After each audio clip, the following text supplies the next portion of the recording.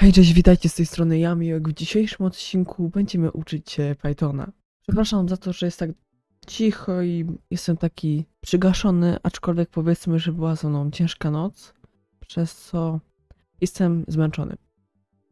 Ale nie przejmujcie się, treść merytoryczna jest taka sama, jaka miała być. Więc tak, zacznijmy od tego, jak zdobyć język programowania Python. Więc tak, instalacja jest banalnie prosta i może zrobić ją każdy, kto posiada system operacyjny.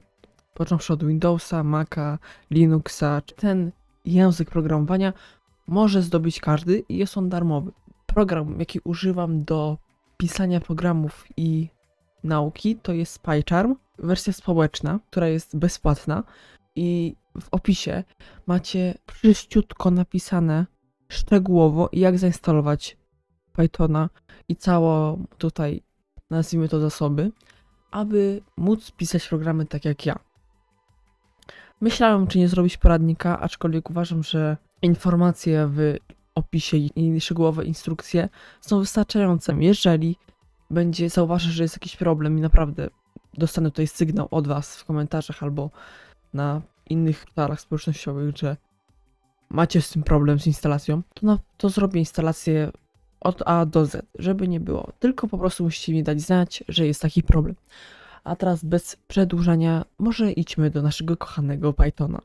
No więc, jako programista będziecie korzystać z tego głównego tutaj, nazwijmy to, yy, głównej tablicy, gdzie będziecie pisać skrypty i takiej konsoli pythonowskiej.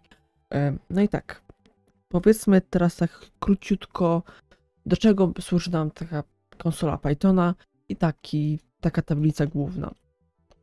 No więc tak, konsola Pythona zazwyczaj służy do tego, aby sprawdzić coś chwilowego, na przykład ile to jest 5 plus 5, to jest 10 i właśnie do tego służy głównie konsola Pythona. Chodzi to jest jakby taki Python, tylko że nie wiem jak to wyjaśnić, no bo jakbyśmy chcieli, to musielibyśmy napisać tutaj w naszej, naszej tablicy, że to jest 5 plus 5. Teraz jak napiszemy, jak zrobimy run, to mamy lekcję pierwsza i teraz dopiero teraz sam napisał, że to jest 10, przez co to jest takie marnowanie trochę czasu, przez co osoby, które pisały program PyCharm powiedziały, a to zrobimy tutaj takie na szybko i teraz możecie sobie zrobić 5 plus 5 i od razu dostać wynik 10. Przez co dla mnie, według mnie jest super i można też przypisywać zmiany, na przykład 5 plus 5 równa się 5 plus 5 i teraz mam tutaj pojawiła nam się po prawej stronie zmienna, klasy int. No i teraz właśnie klasy. Co to są i do czego służą. No więc gdybyśmy zrobili coś takiego 5 plus 5, teraz wyjdzie nam 55. Tak, to jest po prostu takie dodawanie, o, o którym każdy marzył.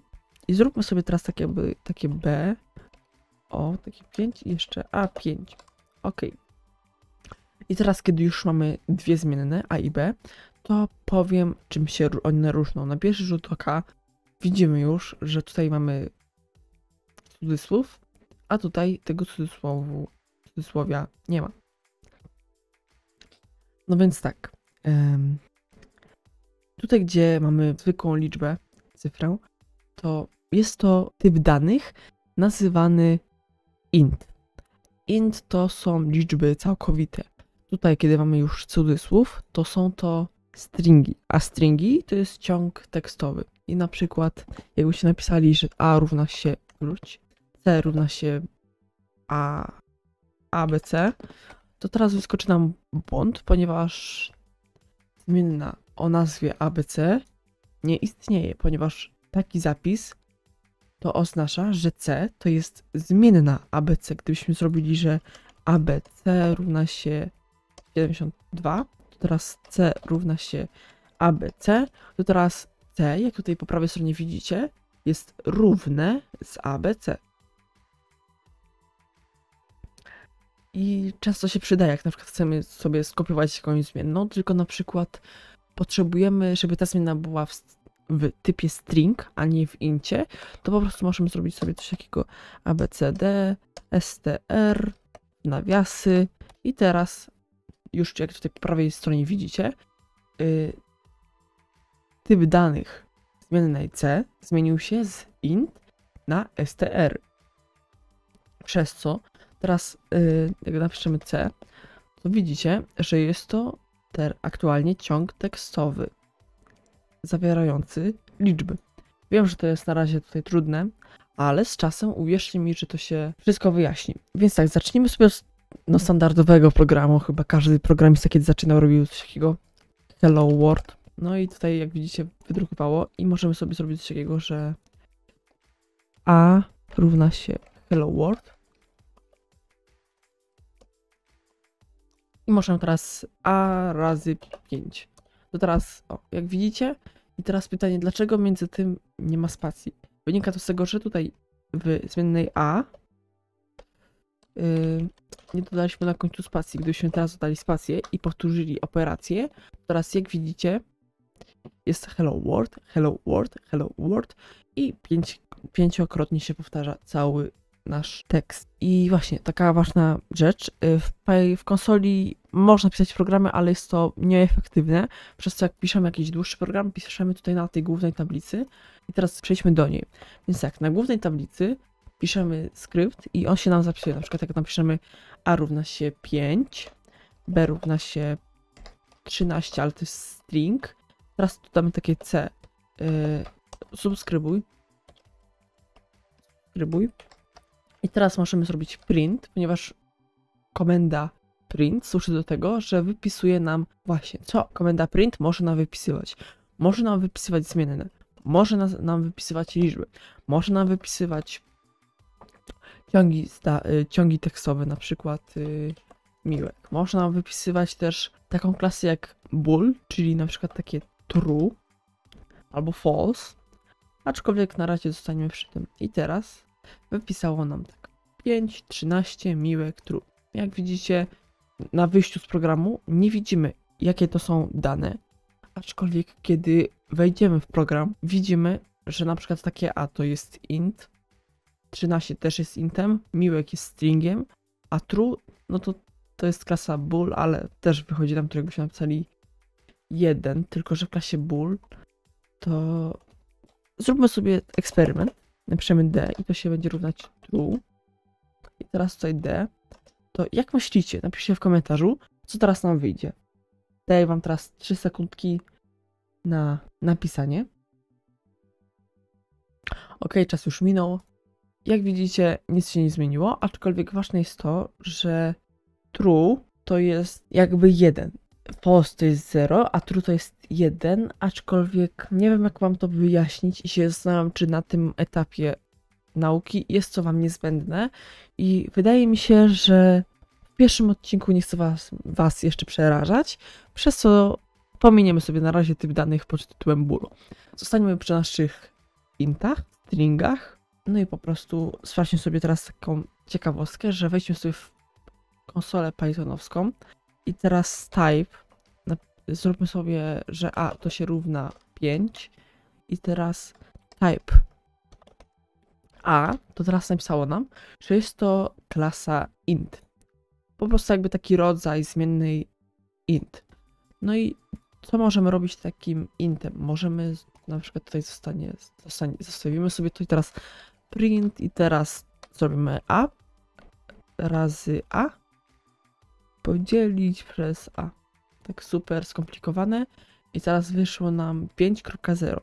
I teraz, dlaczego wyszło nam 5.0, a było 5? Ponieważ po działaniach matematycznych Python automatycznie zmienia wartość, albo nie bardziej typ danych z int na float.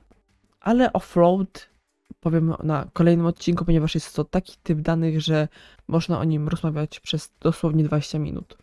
Aczkolwiek zostawmy na razie tutaj nasze kochane działanie, piękne zresztą, ale zmienimy sobie, żeby tutaj było 4 i teraz zobaczymy, że wyszło nam, wyszła nam liczba niecałkowita. A po czym można rozpoznać, że jest to, że nie jest to int? Int, jak mówiłem na początku filmu, są to liczby, które są całkowite, czyli na przykład takie liczby jak 1, 2, 3, 4, 5, 6, 7, 8, 9, 10, i tak dalej, i tak dalej. I teraz może zróbmy sobie program, aby nam takie aby nam takie aby nam takie liczby całkowite wypisał, więc tak. Weźmy sobie, na razie wyciszmy, ja to tak nazywam, wyciszmy sobie kawałek skryptu dzięki klawiszom Ctrl i znak zapytania, tak zwany pytajnik. Możemy teraz kontynuować nasze pisanie i jak widzimy teraz jak uruchomimy program, to nic się nie wydarzy. To może być teraz dla Was skomplikowane i ja to rozumiem. No więc kochani widzowie, już tutaj napisałem jakby printy, 10 printów. I teraz jak otworzymy program, uruchomimy go bardziej, to widzimy, że program wypisał nam 10 liczb całkowitych.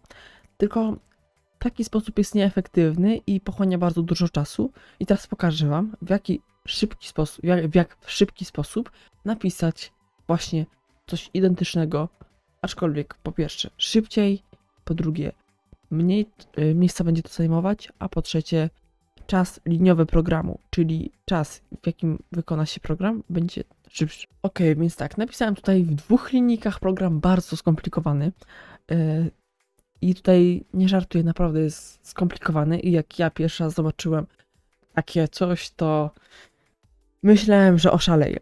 Więc tak, y, na razie nie chcę was, was wprowadzać w pętlę, aczkolwiek chcę wam pokazać, jak Python jest potężny, ponieważ coś, co miało 10 linijek, udało mi się napisać w dwóch, przez co tam mieliśmy ograniczenie liczbowe, ponieważ liczyło nam tylko od 1 do 10, a tutaj jakbym chciał, mogę nawet do, 90, do 99 milionów wypisać i to zajmie nam szybciej, niż jakbyśmy chcie- chcieli wypisywać wszystko po kolei, więc tak, pozwólcie mi, że na razie jakby to tutaj całą tą linijkę troszkę udamy, że jej nie widzimy, tylko wyjaśnię wam, co to jest, ale na razie się nie tutaj nie zagłębiajcie w co to jest for x in range, ponieważ na razie wam to nic nie da, ale po następnym odcinku już będziecie wszystko rozumieć. Więc, więc tak, utworzyłem tutaj sobie pętlę, która wykonuje się 10 razy i wypisuje nam 10 wartości od 1 do 10.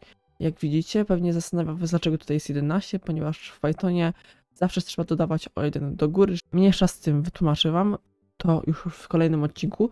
Na razie chcę wam tylko powiedzieć i chcę wam przedstawić, jak potężny jest Python. Powiem wam tylko tyle, że w dzisiejszym odcinku to już wszystko i jeżeli macie jakieś pytania lub jakieś, nazwijmy to, problemy z Pythonem, napiszcie je w komentarzu. Ja ten skrypt, który tutaj mamy, oczywiście wrzucę do opisu, żebyście widzieli, że co zrobiliśmy, aby było wszystko tak samo. Tutaj, jak widzicie, jest nasza zmienna.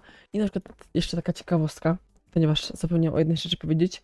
Yy, tutaj możecie sobie skopiować ten skrypt i sobie go potestować, zmieniać sobie dane i ogólnie uczymy tutaj się przez zabawę, ponieważ i, i też moje odcinki będą tak konstruowane, aby ucz widza, ucznia zmuszał troszkę do takich domowych zabaw i żebyście się nie nudzili i żebyście po prostu coś wynieśli z tych filmów.